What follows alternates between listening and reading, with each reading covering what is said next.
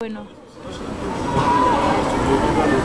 ahí podemos ver cómo la larva de cormoyote está intentando enterrarse en este terrario improvisario que hicimos en medio de este partido de fútbol.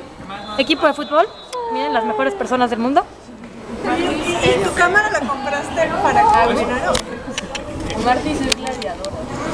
Y esperemos que esto haya sido simplemente el periodo normal de incubación o de estado larvario y que se forme la pupa para poder tener la, la mosca. Ah, Y qué difícil es hablar después de jugar fútbol.